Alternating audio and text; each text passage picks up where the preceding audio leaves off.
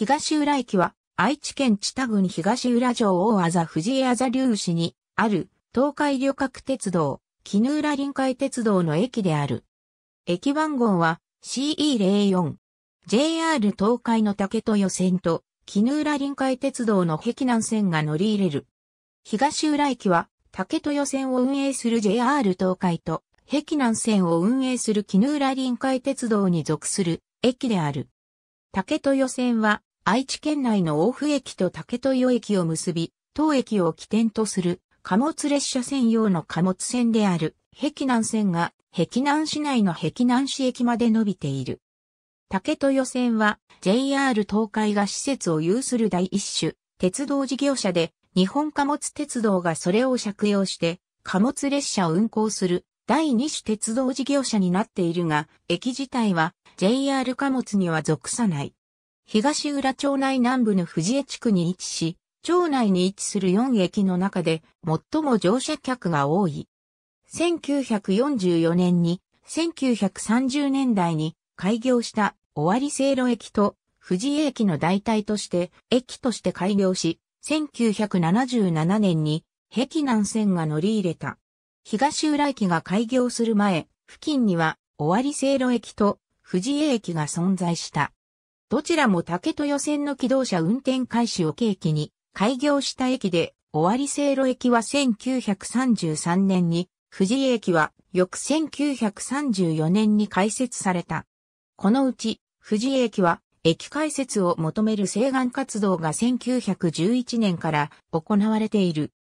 1929年には商工会を中心とする藤井新駅設置規制同盟会が組織された。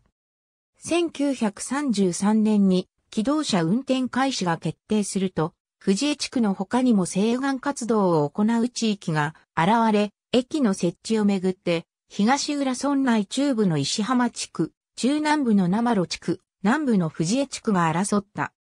その結果1933年12月に生路地区に終わり線路駅が新設されるが、藤江地区ではその後も請願活動を展開したため1年遅れて、藤井駅が開業することになった。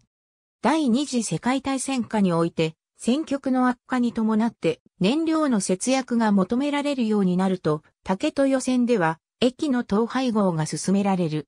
終わり線路駅と藤井駅も対象となり、両駅は統廃合されて東浦駅が新設された。1944年11月のことである。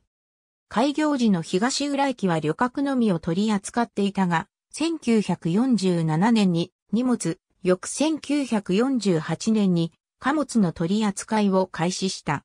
ただし貨物については長く続かず、竹豊線の待機よりも早い1960年に廃止されている。荷物営業の廃止は待機と同時期の1984年である。1977年、東浦駅を起点とし絹浦高等岸を結ぶ貨物船、絹浦臨海鉄道壁南線が開業した。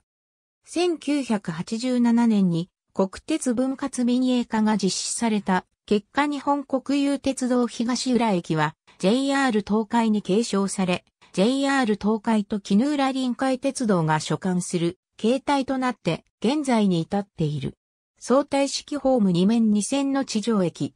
二つのホームは、古線橋でつながる。壁南線の線路は、駅の南方から分岐しているが、1.2番線双方につながっている。単線の竹豊線上にある交換駅であり、列車の交換が可能である。駅舎は一番線に隣接して設置されている。大府駅管理の無人駅。かつては業務委託の駅員が配置されている。有人駅で JR 全線切符売り場も設置されていたが、JR 東海は2013年10月1日より、当駅を含む6駅について、集中旅客サービスシステムを導入し、自動券売機、自動改札機を整備した上で、遠隔案内によって一括的に管理されるようになり、無人化された。愛知県統計年間及び、知多半島の統計によれば、1日平均の乗車人員は以下の通りであった。1950年度から貨物の取り扱いが廃止された1959年度までの貨物取扱量は以下の表の通りに推移していた。1954年度は他年度の数値より突出している。同年度の到着量の半数ほどを砂利やセメントが占めていた。1972年度から荷物の取り扱いが廃止された1983年度までの荷物取扱い量は以下の表の通りに推移していた。東浦駅にはすべての電車が停車する。2018年3月のダイヤ改正まで運転されていた快速列車も停車していた。愛知県知多郡東浦町にはイオンモール東浦があるが、最寄り駅はこの東浦駅ではなく二つ、大府駅寄りの小川駅が最寄り駅になる。西側の駅前には東浦駅バス停留所があり、東浦町運行バスが発着している。東浦町運行バスは、小川駅を中心として運行されている路線のうち、同駅と町内南部の平地台を結ぶ平地台線が経由している。下バスが運行していた同駅から大塚川駅前等を経由して、北半田駅を結んでいた有脇線は2016年3月31日をもって北半田駅、下リハビリ病院前間に路線が短縮されたため、同駅への乗り入れはなくなった。ありがとうございます。